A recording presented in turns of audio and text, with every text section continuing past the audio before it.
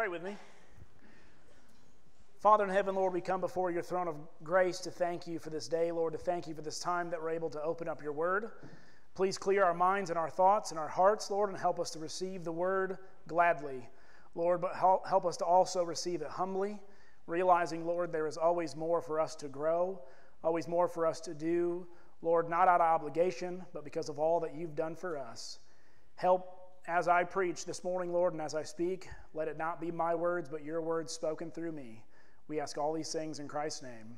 Amen. Have you ever been asked a question where it almost seems like it's a, there's an easy answer, but when you think about it, the answer's always not as easy as, as what you first anticipate? It's kind of like, you know, someone asked me, Do you believe in God? Well, yeah, yeah, I believe. Well, then you start thinking about belief, right? You really, you know, that's what I do. When I, whenever someone asks me, I, I overanalyze, right? I over, like, you know, I, cri- I critically try to think about all the different possibilities. And what does it really mean to believe? Do you mean that, like, if I said I confess Jesus as, as the Christ? Yeah, I believe that. I believe that God created all things and that we were not here by accident right? And we're not just, you know, uh, uh, out of a, a, an ooze popped up out of life and all things that exist now exist from nothing. No, I don't believe that. I believe there was a creator. I believe that God sustains the world with his word, and the day that he wants to shut it all down, he can shut it down. I believe that.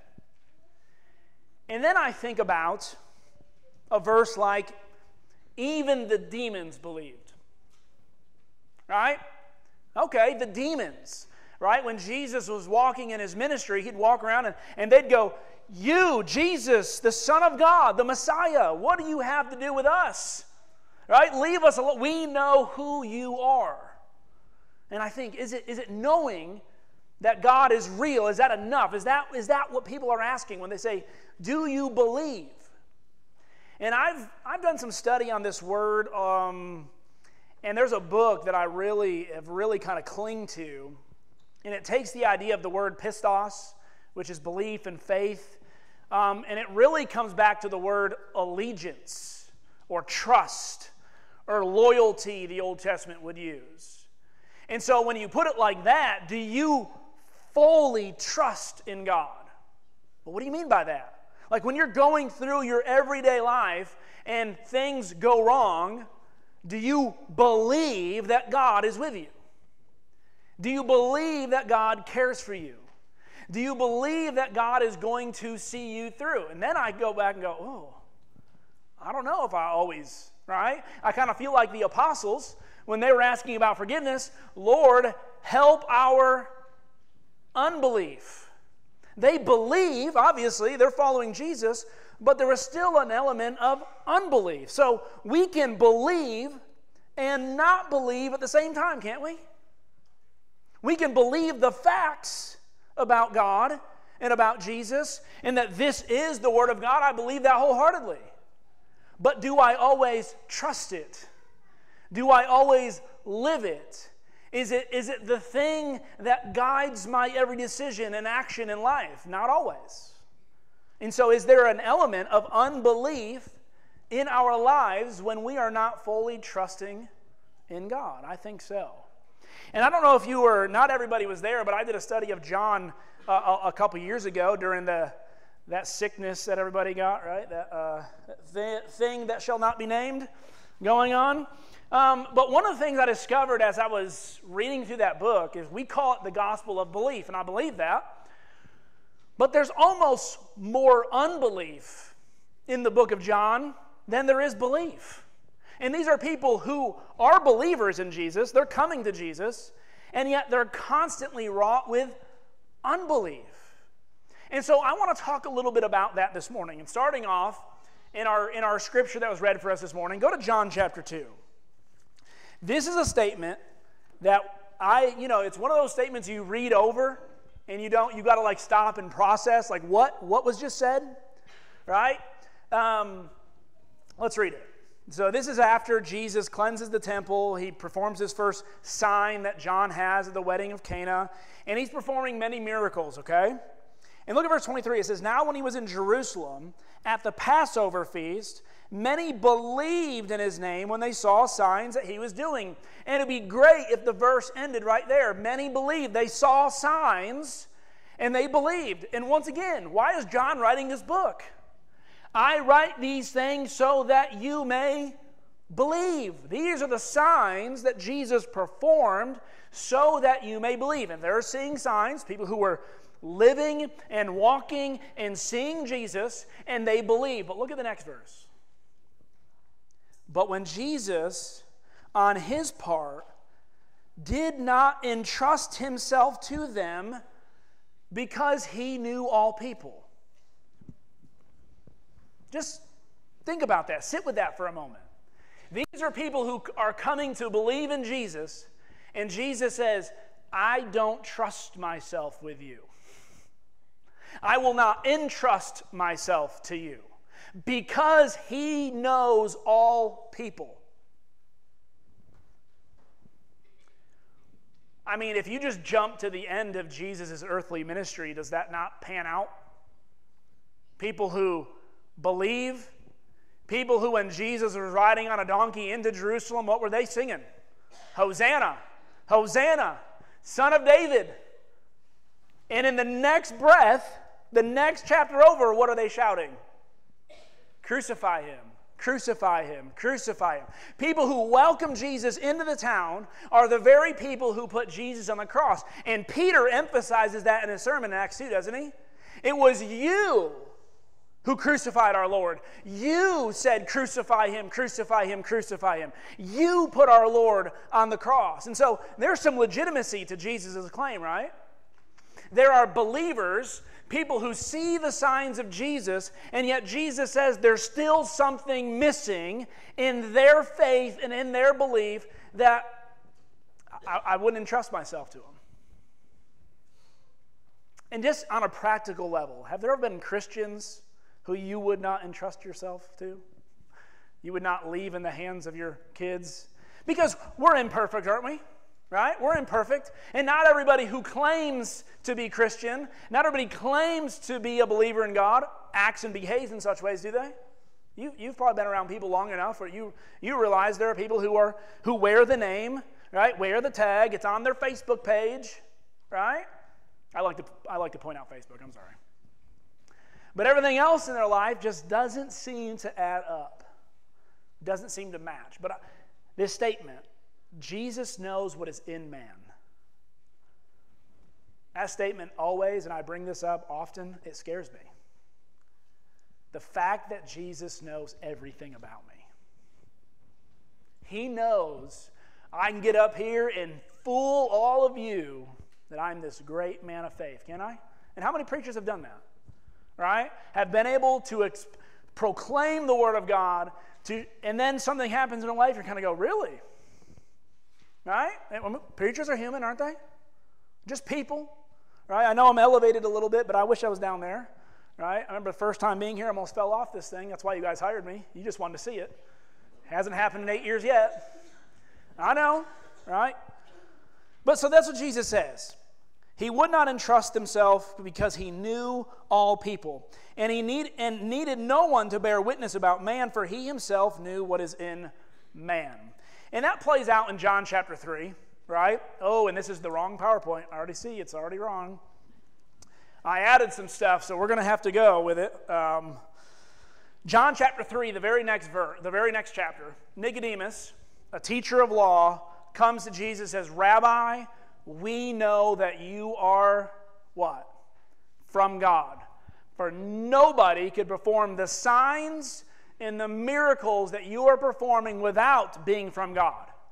And yet, at the end of the discussion, Nicodemus is questioning Jesus, and Jesus finally goes, Are you not a teacher of the law, and yet you don't understand? The ESV says heavenly things. When I try to explain heavenly things to you, we would use the word spiritual.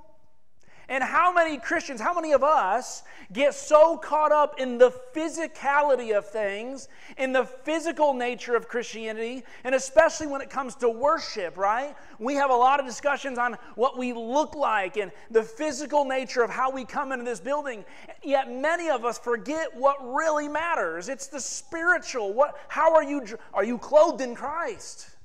Are you clothed in righteousness? Are you clothed in sanctification? Do you have Jesus' words in life in you and living out of you? I don't care what you look like when you walk in the building. I care how you act, right? I care what's on the inside, and that will reflect, right? The outside hopefully will reflect that, right? But still, we sometimes can get so. I'll bring another example. Election's about to happen, right? Election's about to happen, and, and a lot of times we get very focused on it, okay? But do you realize there are two kingdoms going on right now in the world? There's the physical kingdom, and then there is the heavenly kingdom. And sometimes we, we conflate the two as if they, one controls the other. Now, I will say one controls the other. The spiritual one controls the physical one. Jesus is sitting on the throne above all rule, power, and authority, is he not? And sometimes we act as if the physical one has control over the spiritual one. As if we, if we can fix the physical kingdom that's going on, we will somehow better and benefit the spiritual. It's the opposite. You want to fix the physical kingdom, get involved in the spiritual one. Be, I'm not saying that you have to completely separate yourself from the two, right? But we can't put the cart before the horse. And sometimes we focus on the physical things that we can, because it's easy. We're human, aren't we? We can see the physical things. These are things that we can, we can tangibly touch and see. Jesus is something we can't tangibly touch and see, and yet he's more real than anything we can see. Is he not? And that's what Jesus' focus on was blessed are you who believe and yet do not see, right? And so sometimes we can get a little just like this. This guy's a teacher of the law. He knew his law.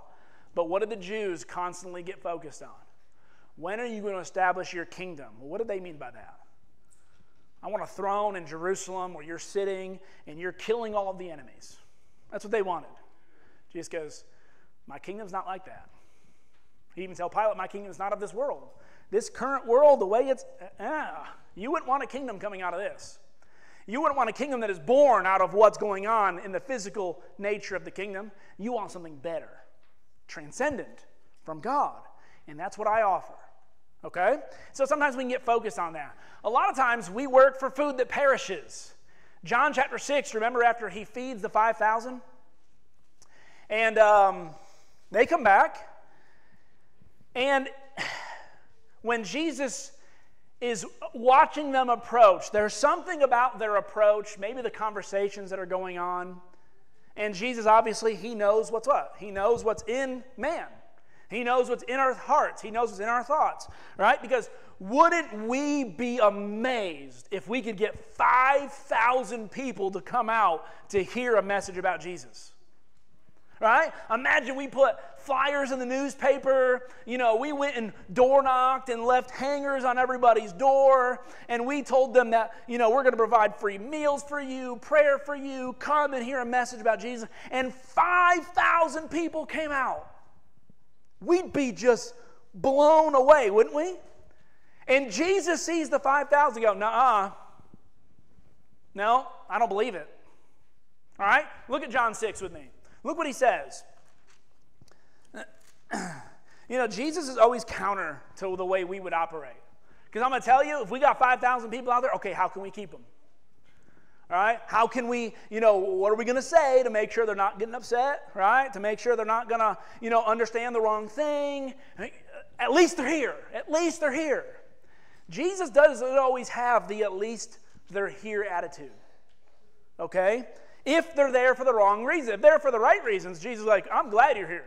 Come, right? All you who are heavy laden, come and I will give you rest, right? But in John chapter 6, verse 26, look what he says. He says, Truly, truly, I say to you, you are seeking me not because you saw signs. So they're not even coming for the signs.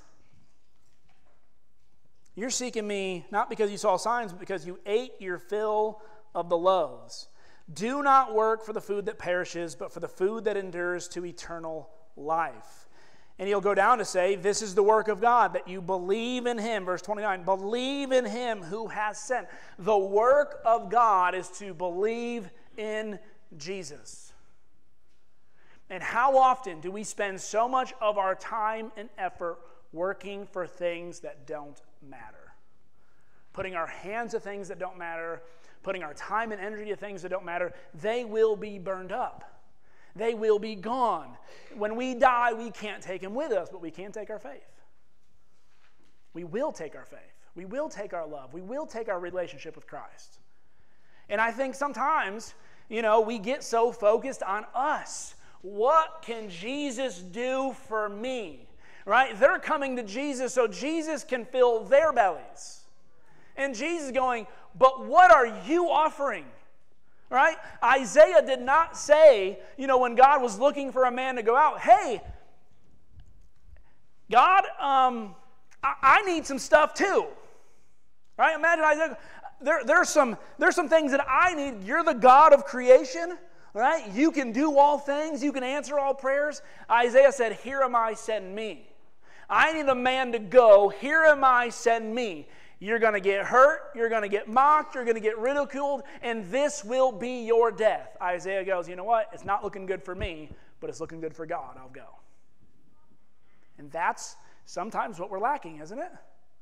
We're seeking what can the church offer me, right?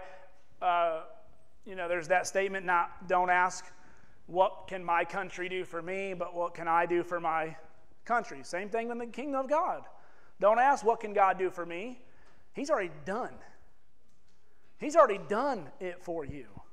Jesus has already come and died for you. He's offered you forgiveness. He's offered you a place in His kingdom. He's offered you peace and love. And He, and he says, I will never leave you. He's already given. It's already available. Once you're in Christ, every spiritual blessing is found where? In Christ, in the heavenly. You already have it. Now, what can you do for Him? Right? And so, but we're always needing more signs. John chapter 4, right? The uh, official son comes out. Can you heal my son? And Jesus makes this statement unless you see signs and wonders, you will not believe. Right? And so, and Daniel brought this up a couple weeks ago. Great sermon on that. The fact that, you know, everyone's always looking for a sign, everyone's always looking for a miracle. If I could just, if I could personally experience a miracle, then I would believe. And Jesus says the incessant need for miracles will be your downfall because you'll always want one more. And you'll always want one better. And you'll always think, well, they got that. And you're right. When he went to his hometown, hey, you're performing all these miracles for everybody else, but you're not doing it for me. Right? And it becomes about we're wanting a dog and pony show. Right? We're just wanting to see something great and miraculous. It's funny we're always needing more signs, and yet we reject clear signs. Right? John chapter 11. Remember in John 11, he rose Lazarus from the dead? And when he rose Lazarus from the dead, what did people do? We got to quiet this down. Right? We got to we got to get people to stop talking about this. Why? Because they might believe. The Pharisees were ones who were asking for signs, weren't they?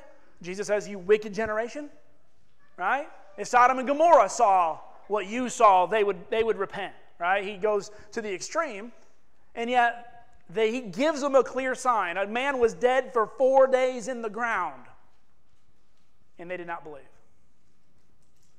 John chapter 20, verse 29, right? Blessed are you who believe and do not see. God is looking for something greater. He's not looking for you to have every single one of your doubts verified. Every single shadow of, you know what, may God just, I mean, because you would never be satisfied. I'm telling you, you would never be satisfied.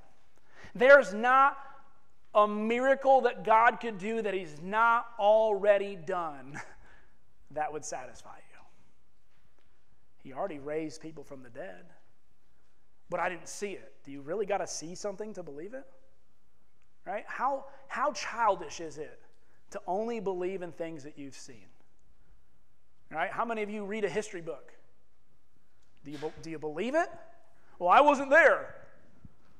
Okay, I mean, there's a level in which you're right.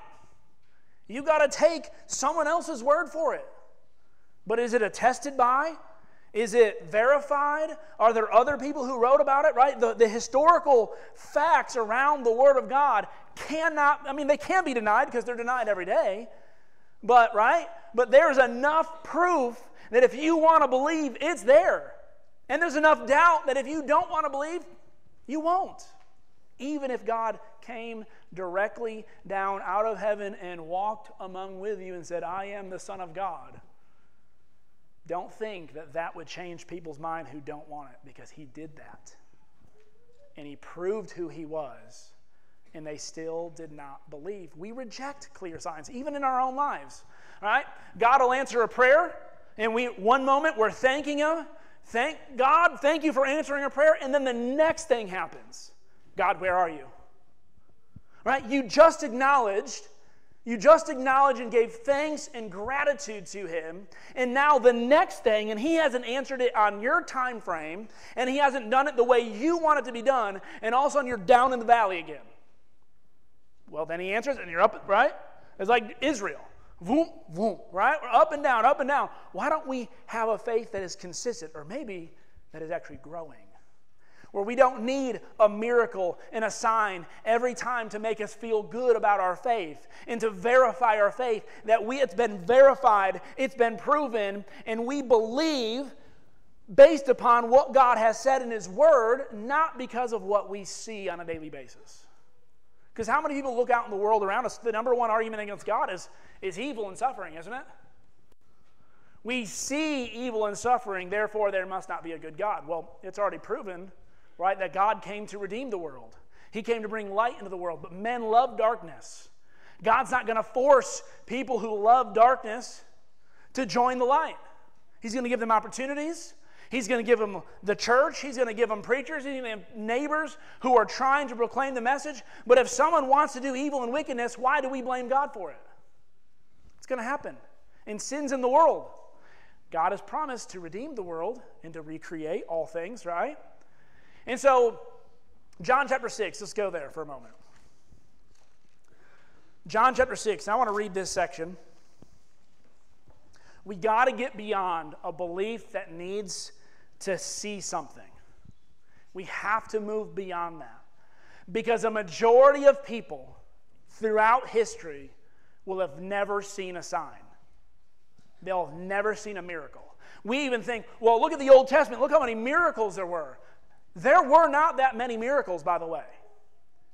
Right? There were time frames where God performed miracles, right, when they were transitioning from one era to the next, but they will go four or five hundred years without ever seeing a miracle from God. Okay?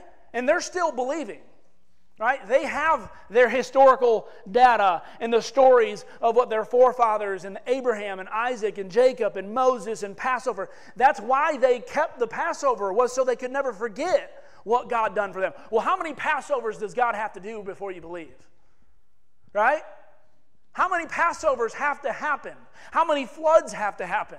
Right? I don't need another one of those. Okay? Right? Unless I've got the boat and I'm on it. All right? But I don't need another one of those. How many times does the Son of God have to come down and die? Does he have to do it in every generation? Right? Well, I didn't see Jesus. Well, there's going to be millions of people who don't see Jesus. Our faith has to be more than that. Okay? And so in John 6, after Jesus gets done talking to the 5,000 who are walking away, right? And he says, You need to eat my, eat my body, right? And eat my flesh and drink my blood. And he's not, you know, he's not being real there, but he's, you need to consume all of me. It needs to be all about me. They came to fill their bellies, and he's turning the statement says, If it's about you, you will fail. It's all about me. They don't like that. That's hard. They walk away. And he turns to his disciples. Look at verse 60, verse, verse 60 of John 6. When many of his disciples heard it, they said, This is a hard saying. Who can listen to it? But Jesus, knowing in himself that his disciples were grumbling about this, said to them, Do you take offense at this? then what if you were to see the Son of Man ascending to where he was before? It is the Spirit who gives life, the flesh is no help at all. The words that I have spoken to you are spirit and life. You realize he doesn't say the miracles or the signs? The signs just verify who Jesus was. It's his words that bring life. It's his words. And that goes all the way back to the beginning. What brought creation of the world? What allowed creation to be possible? Words. God spoke the world into existence, didn't he?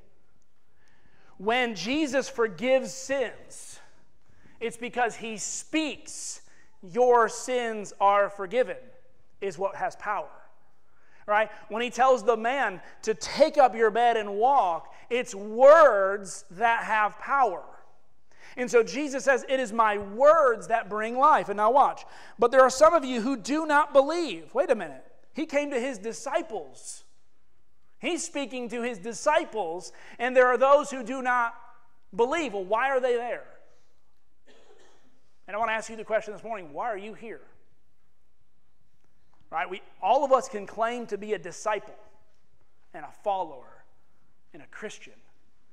But are there, there, are there those this morning who still don't believe, who don't trust, who don't have faith in? He says, For Jesus knew from the beginning who were those who did not believe and who it was who would betray him. We got Judas in the mix. He said, This is why I told you that no one can come to me unless it is granted to him by the Father. After this, many of his disciples turned back and no longer walked with him. I know who are true believers and who are true unbelievers. At least they were honest. The true unbelievers got up and walked out. They got up and left. At least they were honest about it. They weren't like, well, what's, what's, what's, what's Susie doing? If she leaves, I'll leave. She stays, I'm staying. No, they got up and left. They recognize they were not committed yet. Doesn't mean they won't be one day, right? The resurrection changes a lot of people's minds. But Jesus said to the 12, this is where I want to get. Do you want to go away as well? And Peter does not say, but we see the signs that you've done, you must be from God. Look what he says. Simon Peter, Simon Peter answered him, said, Lord, to whom shall we go? You have the miracles of life. You have the signs of life. You have the words of life. Paul says in 1 Corinthians that if they would have known that they were crucifying the Lord and who he was, they wouldn't have done it. They wouldn't have done it. John will, or Jesus will say later in John chapter 5 that you search the scriptures daily and in them you think that you have life. But in them they point to whom? They point to me. Even knowing this book is not enough if you don't know the man who it's being written about. Knowing Scripture and memorizing Scripture does not save you. Knowing Christ saves you. And I know I said at the beginning that Jesus knowing everything that is in us is scary, but it's also greatly comforting. Because remember in Luke 23, when Jesus is on the cross, what does he pray to the Father? Father, forgive them, for they know not what they do. These are the men who said, Crucify him, crucify him, crucify him.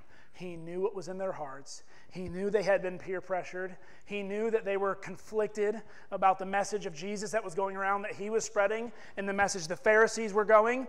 And he knew the political pull that this would have had, the tug, the social and economic, you know, consequences of believing in Jesus if he's not the real Messiah. Even John the Baptist, before he dies, go, Are you the one?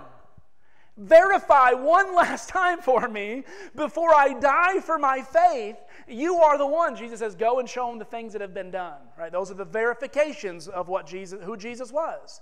And Jesus on the cross says, For Father, forgive them, for they do not know what they do. Jesus knows even our deepest secrets, even our most our, our sins that we would never share in public and yet he still offers forgiveness because he loves us. I am glad Jesus knows everything in me and still loves me. One of my most comforting verses in all of Scripture is 1 John chapter 3. It says, Even when our own hearts condemn us, God is greater than our hearts. Anything that we ask, He will give if we ask in the name of Jesus. This morning, where's your belief at? Where's your trust? I want to ask that question again. Do you believe? We'll ask it another way. Where's your unbelief? What is the Lord and what can the church, what can we do to help your unbelief this morning? Maybe you haven't given your life to Christ yet. Maybe you're on the fence. Maybe you're like, you know what? I don't know. I'm not sure. I want to follow. What do I got to give up? Think about what God gave up. Think of what God has sacrificed. Think of what God has done for you and what He offers. Is there anything worth in your life? What does it profit a man to gain the whole world and yet to lose his soul? Nothing. There's nothing that compares to the riches that are found in Jesus. Why not today?